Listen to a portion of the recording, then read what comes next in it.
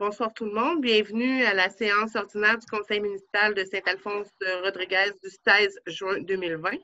Il est 19 h et euh, euh, c'est l'ouverture de la séance. Le premier point, c'est l'adoption de l'ordre du jour tel que présenté. Est-ce que j'ai un proposeur?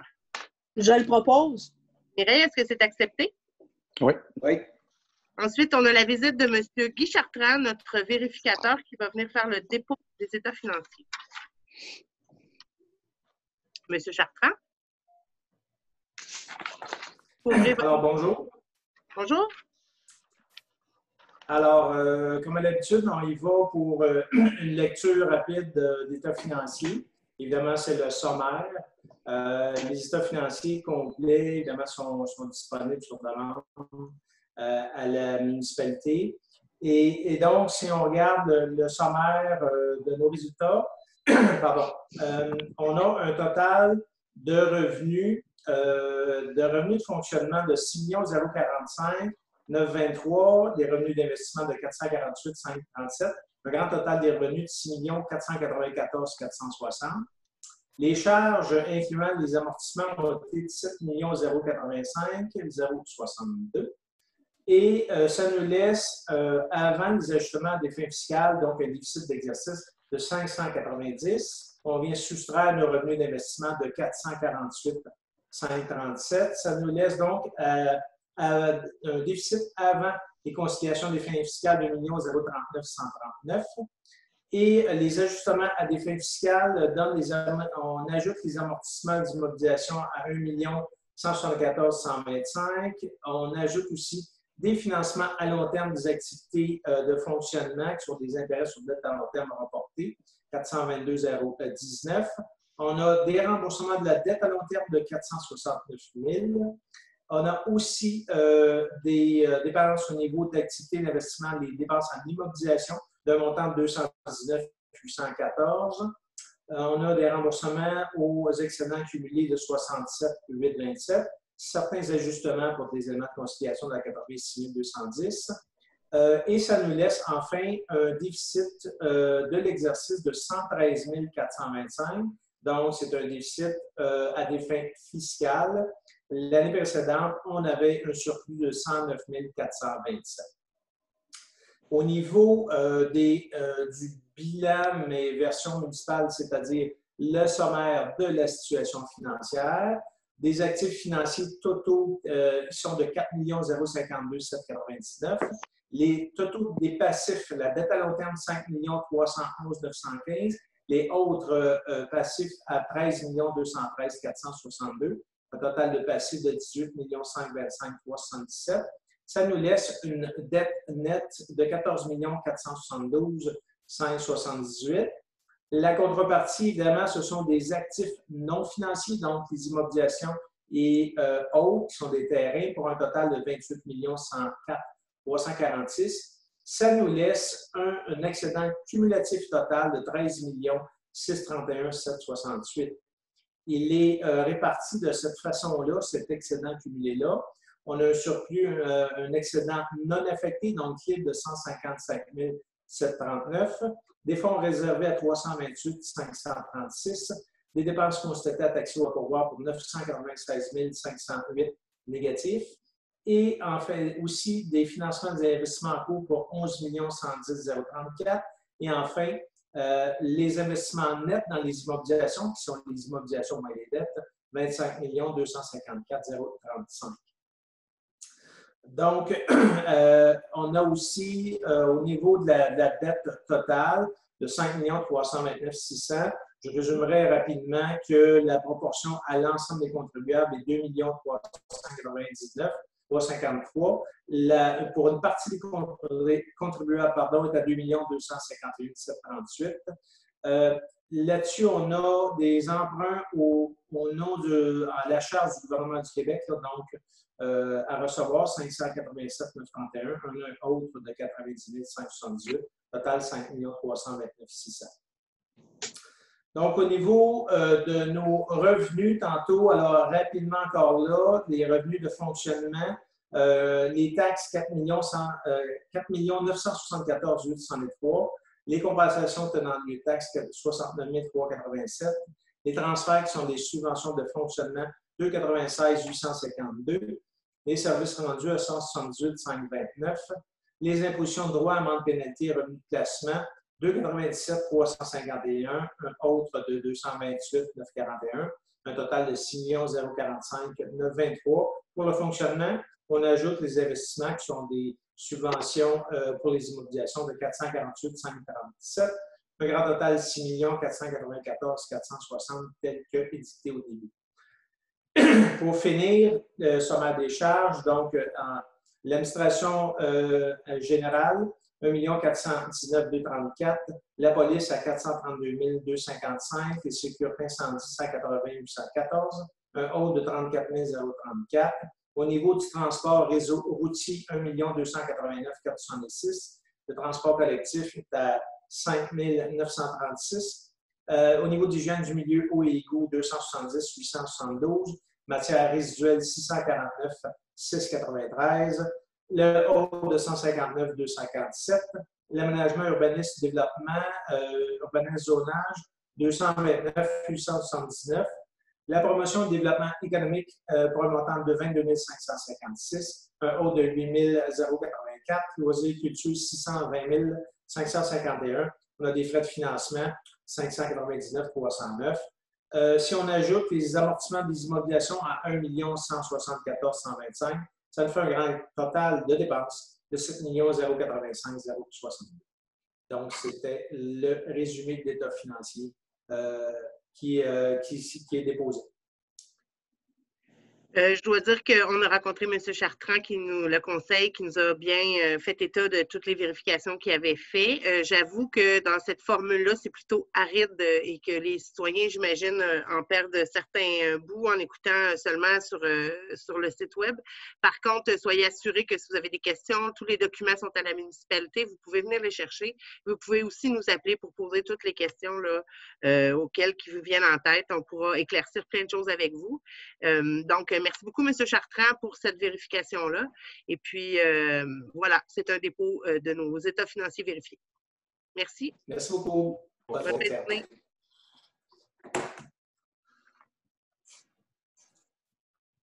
En 2.1 euh, et 3, c'est le suivi des séances du Conseil et la première période de questions. Ce mois-ci, on a reçu deux questions de citoyens. Donc, Élise, si tu veux soumettre la première, s'il vous plaît.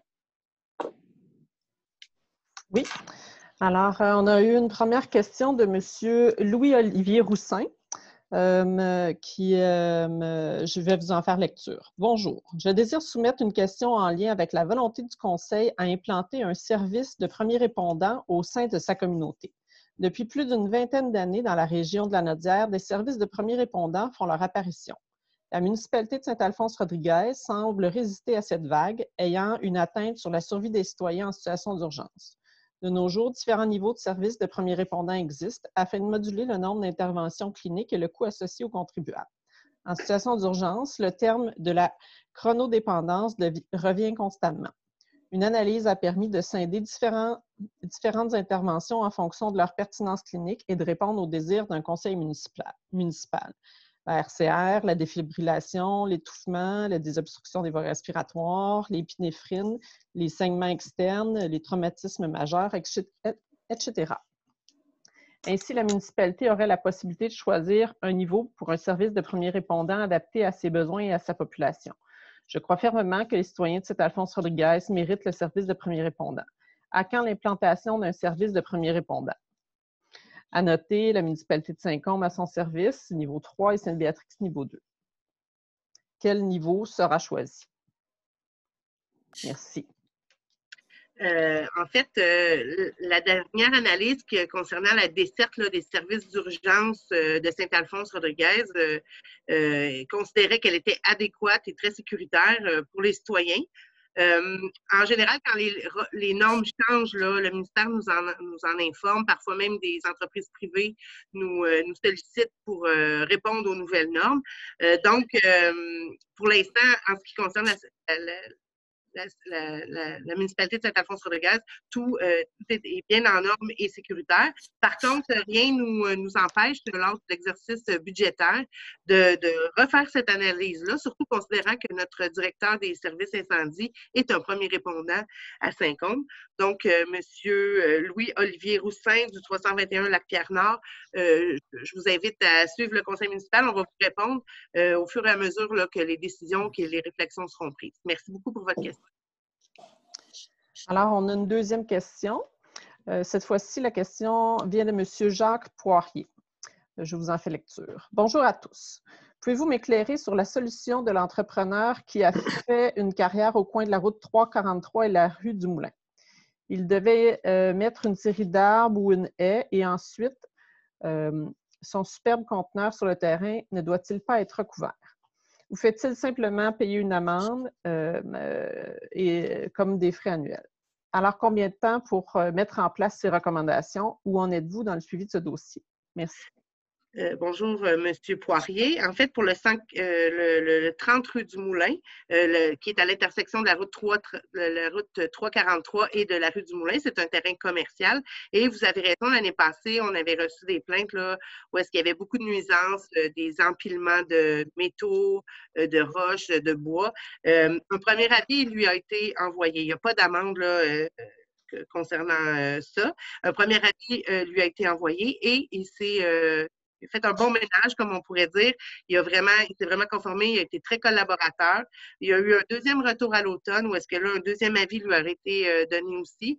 Euh, toujours très collaborateur, il est en processus.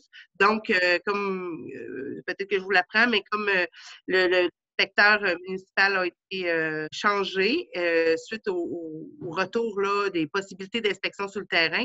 Il y a un petit délai parce théorise les permis, mais euh, soyez sans crainte. Euh, euh, les, nuisances qui étaient en inspection cet automne, ça reprend dans, un très court moment. Et puis, comme je vous dis, le, citoyen est collaborateur et je ne suis pas inquiète que les travaux vont se faire cette année. Donc, on pourra un suivi au prochain conseil, M. Poirier. Merci beaucoup pour votre question. Ça fait le tour des questions qu'on a reçues. Parfait, merci. En 4.1, c'est l'adoption du procès verbal de la séance ordinaire du 19 mai 2020. Donc, est-ce que tout le monde en a pris connaissance? Oui. Est-ce que j'ai quelqu'un pour le proposer? Je le propose. Merci. Euh, en 5.2, c'est la nomination d'un auditeur pour l'exercice financier 2020 de Boisvert et Chacun, donc euh, celui-là même qui vient de nous présenter euh, son audit. Euh, attendu que la direction générale doit, en vertu de la loi, déposer au conseil municipal un rapport annuel de vérification et d'un auditeur externe, il est proposé qu'elle soit retenue les services de la firme Boisvert et Chartrand à titre comptable agréé, à titre d'auditeur pour l'exercice financier 2021, 2020, je m'excuse, et euh, que d'autoriser la mairesse et la directrice générale à signer les documents afférents. Est-ce que j'ai un proposeur? Je le propose. Merci, euh, Jean. Est-ce que c'est accepté? Oui. Oui. Merci. on, accepte le, précédent aussi. Oui, tout à fait. Euh, en 5.3, c'est le dépôt euh, du rapport de la mairesse sur les faits saillants des états financiers au 31 décembre 2019. C'est le rapport au vérificateur vérificateur externe ainsi que les diverses informations en caractère financier pour l'année en cours. Donc, euh, c'est un dépôt. Il est à la municipalité. Pour ceux qui voudraient euh, le voir, euh, il n'y a pas de problème. Vous pouvez venir le chercher à la municipalité. Il sera aussi diffusé dans sur notre site web. en 5.4, c'est la fin d'emploi commis à la comptabilité de Mme Sylvie Desbiens. Donc, il est euh, proposé, euh, suite à la lettre de démission de Mme Desbiens, euh, de mettre fin au lien d'emploi à la formation issue de la formation du prochain titulaire au poste au cours du mois de juillet 2020, de remercier Mme Sylvie Desbiens pour son professionnalisme et la rigueur démontrée dans la réalisation des tâches reliées à son poste au cours des années consacrées à la municipalité, sa disponibilité permettant un horaire estival et sa collaboration comme une bénévole donc, il est proposé d'accepter sa, démission et de lui souhaiter une bonne retraite à Mme Desbiens. Est-ce que j'ai un proposeur? Je le propose. Est-ce que tout le monde est d'accord? Oui. Oui. Merci. En 5.5, c'est l'embauche euh, de, de commis à la comptabilité euh, pour remplacer justement Mme Bien en Mme Joanne Caron. Donc, attendu départ à la retraite de la titulaire du poste de commis à la comptabilité. Attendu que le conseil municipal doit pouvoir à ce poste de façon permanente. Il est proposé que soit embauchée Mme Joanne Caron au poste régulier à temps plein de commis à la comptabilité à compter du 22 juin 2020, conditions prévues à la convention collective à l'échelon 4 de ce poste.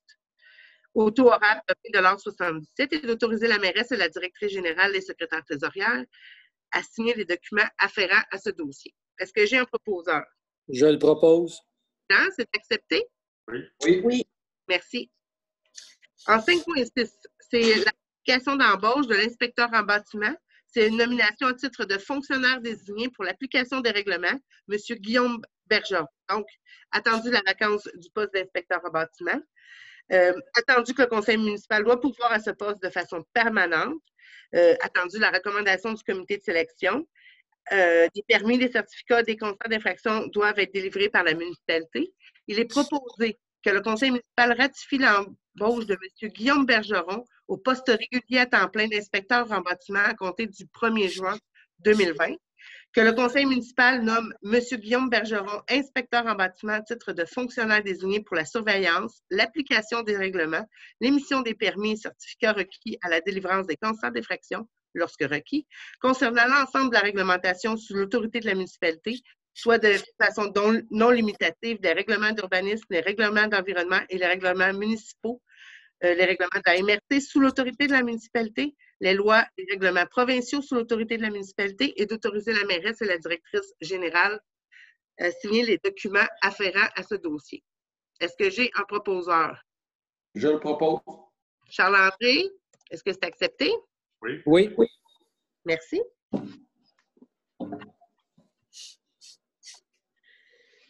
Euh, 5.7, c'est le mandat de relation de travail euh, qui euh, serait octroyé au cabinet Desrosiers Hébert Avocat. Donc, attendu que le cabinet Desrosiers Hébert Avocat, Avocat a assisté à la municipalité lors des négociations visant le renouvellement de la convention collective des employés municipaux. Attendu que l'offre de services professionnels sur une base de contrat annuel forfaitaire du cabinet des Rosiers Hébert, avocat à titre de consultant en relations de travail et en ressources humaines. Attendu que la municipalité est satisfaite de leurs services et de leur approche au terme de qualité de relations de travail. Ce qui vous est proposé, c'est que la municipalité retienne les services du cabinet d'avocat des Rosiers Hébert à titre de consultant pour, un, pour les honoraires forfaitaires pour une somme de 300 pour les années restant à la convention collective, soit 2020, 2021 et 2022 inclusivement et sont payables une fois par année à raison de 100 selon les modalités de l'offre déposée euh, et que l'offre de service reçue le 25 mai fasse partie intégrante de cette résolution. Et aussi euh, d'autoriser la mairesse et la directrice générale euh, à signer les documents afférents à ce dossier. Est-ce que j'ai un, propos, un proposeur? Rémi. Rémi le propose. Est-ce que c'est accepté? Oui. Oui. Parfait, merci beaucoup. En 5.8, c'est le comptoir vestimentaire. Donc, c'est une ratification de modification au bail de location. Donc, euh, attendu que la municipalité loue un local situé au 761 rue Luc euh, pour le comptoir vestimentaire et qui a lieu, entre autres, à cause de, de- de la COVID qui demande plus d'espace pour le service aux, clients. Euh, c'est possible d'ajouter une salle à l'usage du comptoir aussi par euh, le, propriétaire. Il vous est proposé que la municipalité ratifie la modification du bail comptoir vestimentaire avec le locataire 9151 3218 Québec King, euh, ayant sa place d'affaires au 790 route 343 à Saint-Alphonse-Rodriguez et représenté par M. Yves Blanchard, que le coût annuel actuellement de 600 plus les taxes applicables soit modifié pour une augmentation de 130 mensuellement à partir du 1er juin 2020 pour la, la durée du bail préalablement convenue. Est-ce que j'ai un proposeur pour euh, euh, rajouter une pièce, en fait, là, euh, qui, qui est quand même assez grande là, euh, au loyer du comptoir vestimentaire? Je le propose. Rémi, est-ce que c'est est-ce que c'est accepté? Oui. Oui. Je Merci. voudrais juste apporter une précision, Madame la mairesse. Vous avez dit euh, 600 dollars annuels, mais c'est 600 dollars mensuels, le loyer. Oui, absolument. J'ai fait un, un lapsus. Oui, effectivement, c'est 600 dollars euh, mensuel plus 130 mensuellement aussi. Merci. Alors, 5.9, c'est euh, justement de la subvention. Donc, comme on donne euh, le loyer que l'on paye pour le comptoir vestimentaire est une forme de subvention qu'on offre à cet organisme. Euh, il est donc tenu d'ajuster la subvention pour 2020 au comptoir vestimentaire. Donc, ce qui vous est proposé, c'est que le conseil municipal débourse la somme de supplémentaire de 130 mensuellement à partir du 1er juin et que c'est à titre d'un ajustement à la subvention annuelle 2020 au comptoir vestimentaire. Est-ce que j'ai un proposeur? Je le propose. Rémi, est-ce que c'est accepté? Oui. Merci. 5.10, euh, c'est la formation municipale Initier le changement que j'ai euh, suivi dans le cadre du diplôme de leadership municipal qui est fait par la Fédération québécoise des municipalités, qui vise à outiller, entre autres, les participants dans les conduites de changement euh, de, projets municipaux. donc, ce que je propose, c'est d'autoriser la participation qui s'est tenue les 4 et 5 juin au coût de 379 plus les taxes. Est-ce que c'est un proposeur? Je le propose. Charles-André, est-ce que c'est accepté? Oui. Merci. En 5.11, c'est la cession d'un terrain euh, du matricule 8, 97 97 11 81 86 15. Donc, c'est un monsieur Jean-Pierre Giguère qui désire céder à la municipalité de Saint-Alphonse un lot euh, et une entente avec la municipalité. Là, ce qu'on se propose, c'est d'accepter la cession du terrain de M. Jean-Pierre Giguère, actuellement, ce que celui-ci s'engage à acquitter municipal et scolaire, les intérêts qui sont liés pour le DILO jusqu'à la date de transaction et acquitte tous les honoraires professionnels reliés à cette euh, transaction et d'autoriser la mairesse, la directrice générale, à euh, signer les documents afférents. Est-ce que j'ai un proposeur? Je, le propose. C'est accepté? oui. Merci. Ah, puis il n'y a pas de correspondance. En finance, c'est l'adoption des comptes de mai 2020. Donc, euh, ce qui vous est proposé, c'est que les déboursés effectués par la municipalité pour le mois de mai 2020, euh, qui est tel que rapporté à la liste historique des euh, chèques que Jean a vérifié. Est-ce que tout était conforme, Jean? Tout est conforme et je le propose. Parfait. Des déboursés donc de 86 734 pour le mois de mai, des comptes à payer de 146 051 un total des déboursés du mois de mai de 232 786 et la paie mensuelle d'une somme de 79 769 701 accepté et payé. Est-ce que euh, tout le monde est d'accord de la proposition de Jean? Oui. Oui. oui. Merci. En 7.2, ben, c'est euh, le dépôt des états comparatifs au 31 mai 2020. Euh, Donc, euh, c'est un dépôt.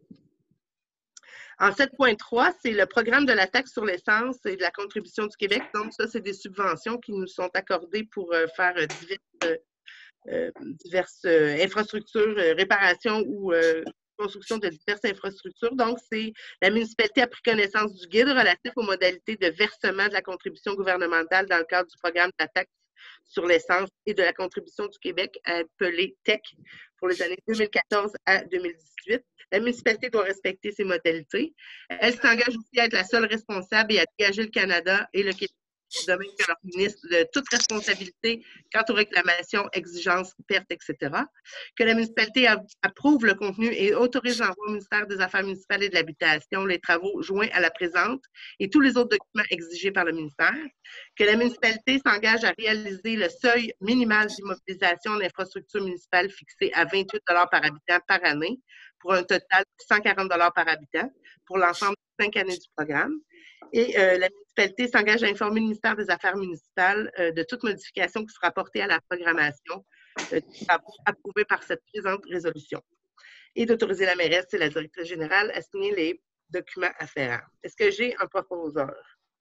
Je le propose. Émilie, est-ce que c'est accepté? Oui. En 8.1. C'est une demande au ministère des Transports du Québec pour la sécurisation des routes 337 route de Radun à l'intersection de la route 343.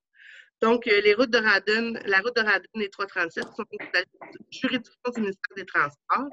Le secteur de l'intersection de la route 337 et de la route 343 est très achalandé, situé à proximité d'un secteur résidentiel du domaine des Quatre-Haches ou du lac Marchand. Euh, le secteur de l'intersection de cette route est est accidentogène élevé. Euh, une courbe sur la route 343 près de l'intersection de la route 337 nuit considérablement à la visibilité et plusieurs accidents mortels sont survenus, dont encore un la semaine dernière. Euh, il est donc proposé que la municipalité de Saint-Alphonse réitère sa demande ministère des Transports du Québec de réaliser une étude de circulation dans le secteur de l'intersection de la route 337 et 343, que la municipalité demande au ministère des Transports d'envisager des solutions de réduction de vitesse ou d'amélioration d'affichage dans le secteur de l'intersection afin d'augmenter la sécurité des automobilistes et d'autoriser la mairesse et la directrice générale à signer les documents afférents. Est-ce que j'ai un proposeur? Je le propose. Rémi, est-ce que c'est accepté? Oui. Merci. En 9.1, c'est l'octroi de contrat pour le marquage des rues municipales à la compagnie Ligne MD. Donc, euh, attendu que la municipalité est responsable du lignage de ces rues, que le conseil estime que le lignage de rue adéquat assure une sécurité des usagers de la route. Il vous est donc proposé que la municipalité accepte l'offre de, service de ligne MD pour le lignage des rues municipales au coût unitaire suivant. Donc, la ligne axiale jaune simple à 96 du kilomètre, les lignes d'arrêt à 9,50 l'unité et les traverses piétonnières à 105 l'unité. Euh, que la commission de ligne MD en date du 29 mai fasse partie de cette résolution et d'autoriser la mairesse et la directrice générale à signer les documents afférents. Que j'ai un proposeur. Je le propose. Jean, est-ce que c'est accepté? Oui. Merci. En 10.1, c'est une recommandation de paiement le, de numéro 7 pour l'agrandissement de la mise aux normes de la réserve du, du village euh, la firme Bernard Malo. Donc, attendez-vous la recommandation de paiement numéro 7 de la firme Parallèle 54 par conseil en date du 3 juin. Il vous est proposé d'accepter de payer la facture d'une somme de 78 770 incluant les taxes applicables et la retenue contractuelle de garantie de 10% et que cette euh, dépense soit affectée au programme de la taxe pour l'essence et de la compétition du 2019-2023. D'autoriser la mairesse et la directrice générale à signer les documents afférents. Est-ce que j'ai un proposeur? Je le propose. Rémi, est-ce que c'est accepté? Oui. Parfait, merci. En 10.2, c'est l'acquisition d'un réservoir d'eau par les entreprises Carbat. Donc, attendu que le réseau d'aqueduc Adam nécessite régulièrement des transports d'eau potable pour répondre aux besoins des utilisateurs, que divers euh, scénarios ont été évalués tant pour la location que pour l'achat de l'équipement nécessaire. Il vous est donc proposé euh, que la municipalité procède à l'acquisition d'un réservoir d'eau potable et de ses accessoires de les entreprises Carbat pour une somme totale de 12 681 et que euh, d'autoriser la mairesse et la directrice générale à signer les documents afférents à ce dossier. Est-ce que j'ai un proposeur?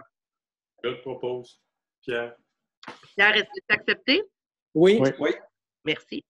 En 10.3, c'est un ajout de stationnement interdit pour les rues Bernèche et McManiman. Donc, euh, attendu qu'il y a lieu de modifier l'annexe A du règlement de 2019, stationnement et utilisation des voies publiques, afin d'ajouter des rues où le stationnement est interdit. Pour des raisons de sécurité, il est nécessaire d'assurer le passage des véhicules d'urgence sur les rues étroites. Euh, donc, il est proposé que la municipalité ajoute l'interdiction de stationner du côté est des rues Bernèche et McManiman et d'autoriser la mairesse et la directrice générale à signer les documents afférents. Est-ce que j'ai un proposeur? Je le propose. Mireille, est-ce que c'est accepté? Oui. Oui. Merci. En 10.4, c'est le Conseil régional de l'environnement de la Nodière, le CREL. Donc, c'est une demande de renouvellement d'adhésion. La municipalité, euh, notre adhésion est arrivée à échéance. Donc, on vous propose que soit renouvelée l'adhésion de la municipalité pour l'année 2020-2021 au coût de 60 Est-ce que j'ai un proposeur? Je le propose. Mireille, est-ce que c'est accepté? Oui. Oui. Oui. Merci. En 10.5, c'est aussi un renouvellement d'adhésion pour 2000-2021. C'est l'Agence régionale de mise en valeur du forêt privé de la Nodière qui a comme mandat, mandat, entre autres, de promouvoir les saines pratiques forestières. Donc, c'est des gens qu'on invite euh, régulièrement là, à nos journées de l'environnement. Donc, c'est une adhésion annuelle de 100 Est-ce que j'ai un proposeur? Je le propose. Jean, est-ce que c'est accepté? Oui. Oui. Merci. En 12.1, c'est le le dépôt du rapport du mois de mai des permis de construction. Euh, en mai, il y a eu un total de, 60 et de, de, de 28 permis pour un cumulatif de 64 permis durant l'année euh, 2020, pour un comparatif avec 2019 qui était de 82 à cette période-ci de l'année. Donc, une légère baisse et pour une perte environ de 1 million de valeur foncière, là, un montant total de 1043, 1 43 000 euh, en 2020 et euh, c'était plutôt 2 800 000 pour 2019. Donc, on espère, là, avec le volume qui, euh, qui entre présentement, que ça se replace tranquillement pas vite, euh, l'après-COVID, avec les permis de construction. Euh, donc, c'est un dépôt. En 12.2, c'est le renouvellement, le mandat des membres du comité consultatif en urbanisme qu'on appelle CCU. Euh, attendu que euh, le comité consultatif est euh, formé de huit citoyens avec droit de vote, que cinq citoyens qui ont une échéance de leur mandat l'année prochaine, en 2021, et que trois avaient une échéance ce, cette année, en 2020. Monsieur Jean-Pierre Arbour, qui a passé plusieurs années au CCU, ainsi que Monsieur Claude Blot, qui a aussi passé plusieurs années au CCU, qui nous ont vraiment, des bénévoles qui nous ont franchement donné un bon coup de main, se retire et Mme Sophie Laporte renouvelle son, man- son mandat euh, du, conseil, du comité de consultatif en urbanisme. Donc, on sera à la recherche de deux candidats pour venir euh, se joindre au groupe de, huit personnes.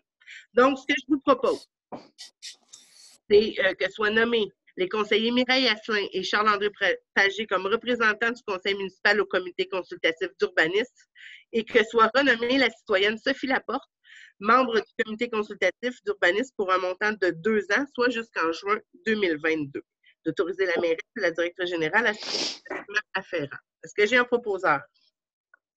Je le propose. Pierre, est-ce que c'est accepté? Oui. Oui. Ok, merci. Sauf c'est- un mandat, pas un montant. Ouais. Vous avez eu un lapsus, Madame la mairesse. Je, je, mais je m'en excuse, mais là, je ne sais pas ce que j'ai dit. Ma- mo- montant.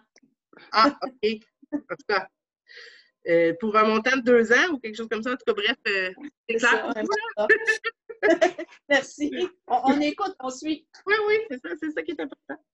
Euh, en 13.2, en 12.3, je m'excuse, c'est la demande de dérogation mineure. C'est un, un agrandissement résidentiel dans la bande de protection riveraine au 376 rue du Lac-Long-Nord. Donc, Mireille, est-ce que tu peux nous expliquer ce dossier?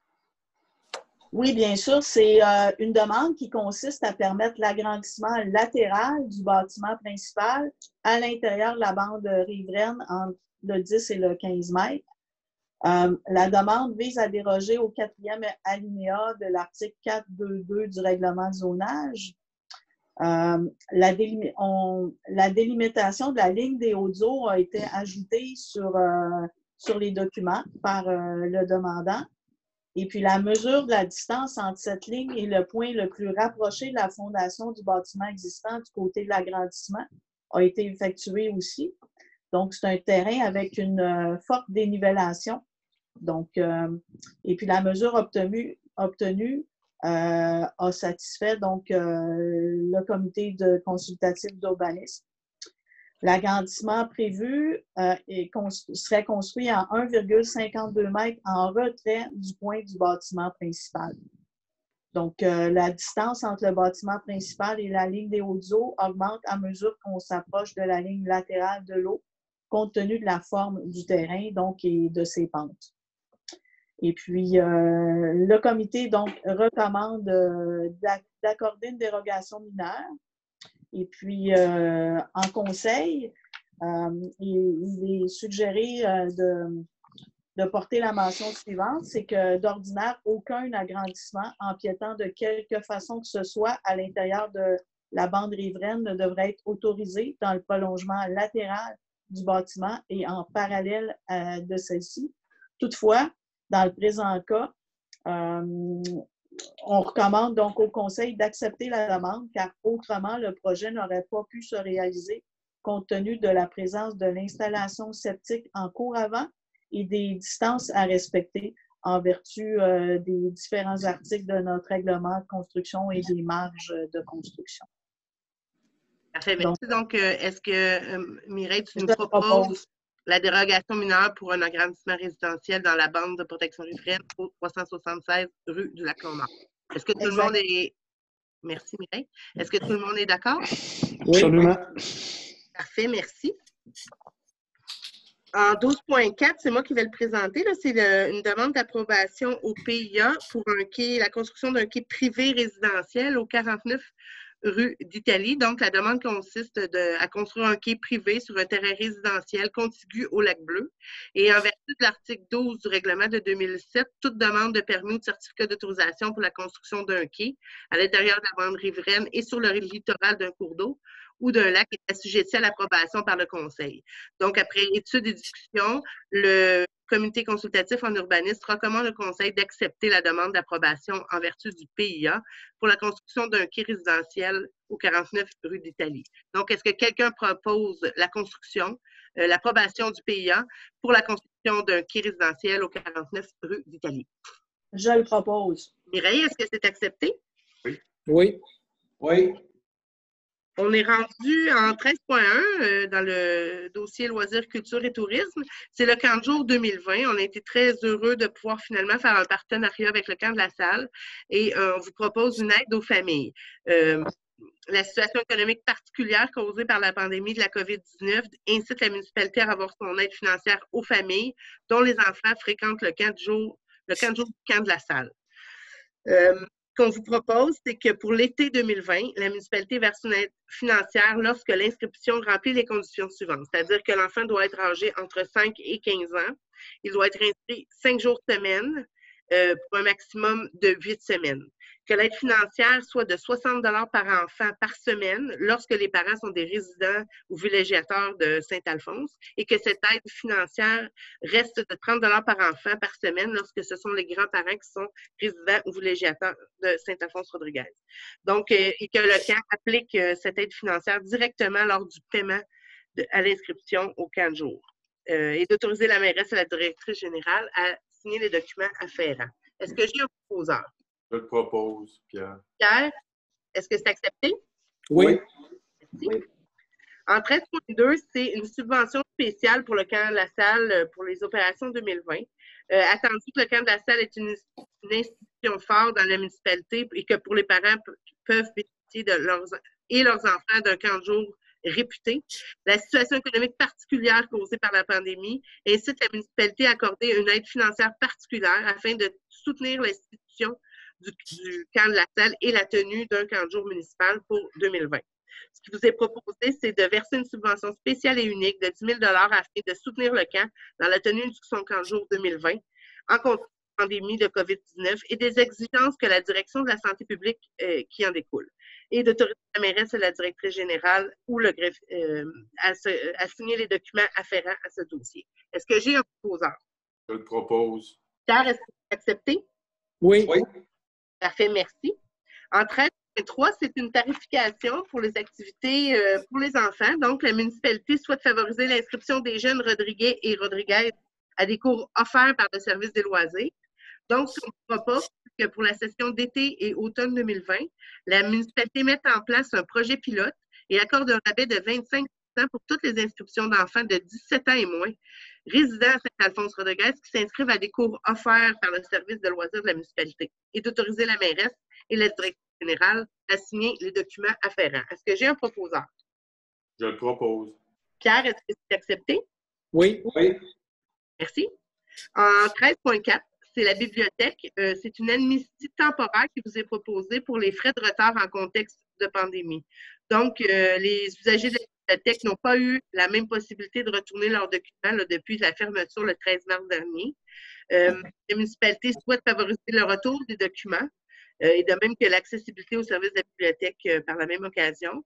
Dans le cadre de référence pour la réouverture des bibliothèques publiques en temps de COVID, il recommande que chacun des inscriptions et frais de retard ne soit affecté au dossier des usagers.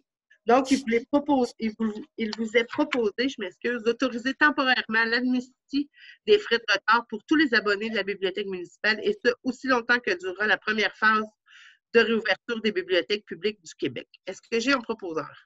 Oui, je le propose. Mireille, est-ce que c'est accepté? Oui. En 13.5, c'est la Fédération québécoise de la montagne et de l'escalade. Euh, c'est un protocole d'entente que la municipalité et l'association euh, vont signer pour permettre l'accès et le développement des, installations sur la partie escalade, là, qui était, euh, comme la municipalité a signifié son intérêt par résolution, la MRT aussi, et que la Fédération québécoise de montagne et de l'escalade veut avoir un mandat de son coordonnateur, en fait, avoir un mandat pour des sites à siéger sur le comité de travail constitué pour développer le projet ici à la municipalité.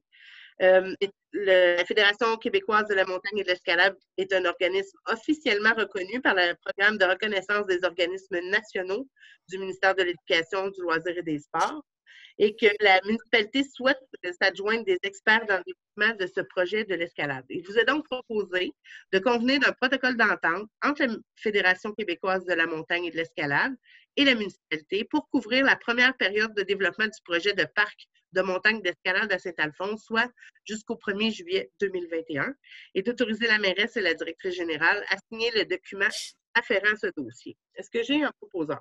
Je le propose, Pierre. Pierre, est-ce que c'est accepté? Oui. Merci. En 14.1, c'est une demande d'autorisation à la MRC Matawini pour les travaux de réfection au barrage du lac Gavo. Donc, on demande à la MRC qui a délégué ses compétences en matière de cours d'eau aux municipalités, euh, possibilité de faire des travaux là, tels que tels que déjà souvent euh, par résolution des travaux que nous voulons faire sur le barrage du lac Garo. Donc, on reconnaît l'intérêt des contribuables de ce secteur à ce que ces ouvrages de régularisation du niveau des eaux du lac Garo soient contenus, garantissant ainsi, d'une part, la pérennité du lac et favorisant d'autre part la préservation de la valeur foncière des immeubles de ce secteur, ce qui est d'intérêt public pour l'ensemble de la municipalité. Il vous est proposé que la municipalité demande, conformément aux articles 95.1 et 110 de la loi sur les compétences municipales, l'autorisation de la MRC de Matawini de procéder à des travaux de réfection de barrage sur le lac Garo et d'autoriser la mairesse et la directrice générale à signer les documents afférents à ce dossier. Est-ce que j'ai un proposant? Je le propose. Rémi, est-ce que c'est accepté? Oui. Merci. En 14.2, c'est la fermeture temporaire de la rue de la plage le 1er août 2020 pour une activité culturelle, dessin sur l'asphalte, on redécore la rue de la plage. Donc, ce qui vous est proposé, c'est euh, que la municipalité autorise la fermeture temporaire de la rue de la plage du 1er août, au- le 1er août 2020 de 9h30 à 12h30 pour la portion se situant sur la rue Gabriel-Roy, afin de le rendre quand même accessible euh, euh, les installations jusqu'au stationnement de la maison du 80 rue de la, de la plage. Donc, essentiellement, c'est devant les, les, bâti- les bâtiments municipaux et d'autoriser la mairesse et la directrice générale à signer les documents afférents. Est-ce que j'ai un proposeur? Je le propose. Jean, est-ce que c'est accepté? Oui. En 14.3, c'est la candidature de la municipalité dans le cadre du Gala Conservo. Donc, c'est notre programme de soutien aux initiatives pour la protection de l'environnement qui serait déposé. Donc, euh, cette initiative se veut pionnière dans la région et a servi comme exemple de plusieurs municipalités qui ont observé son déroulement. La municipalité souhaite faire reconnaître son initiative en déposant sa candidature dans le cadre du Gala Conservo, chapeauté par l'organisme de bassin versant La Cara. Il vous est proposé que la municipalité dépose sa candidature dans le cadre du Gala Conservo et que la municipalité mandate M. Jean-Vincent Tanguay, directeur de l'urbanisme et du développement durable, pour déposer le dossier municipal de la candidature. Et d'autoriser la mairesse et la directrice générale signer les documents afférents. Est-ce que j'ai un proposeur? Je le propose. Charles-André, est-ce que c'est accepté? Oui. En 4.4, c'est euh, un ajout.